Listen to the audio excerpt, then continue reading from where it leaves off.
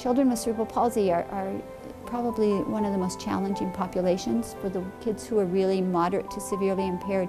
We just don't really know how to help them to get better. Our primary goal is to make sure that he's just happy and he, he kind of understands where his potential is. Giving Brayden more independence really and you know getting him where he can control his core, be able to sit up better and do all the kinds of stuff that we do.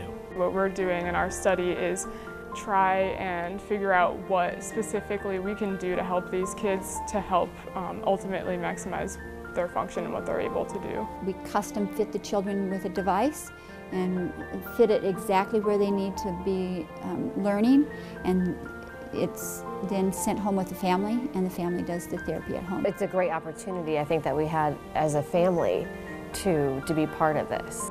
He can now sit up on his own a lot better. I mean, we have to get him, you know, in that position, but before he would just kind of fall over, um, probably after a few seconds. Now he can sit up on his own for, you know, a couple minutes. There, nice one. You see the change that has happened because of, you know, what you've invested in for all this time, and it's like that wow moment that you're like, this is this is what we're supposed to be doing. Like it, it just feels right.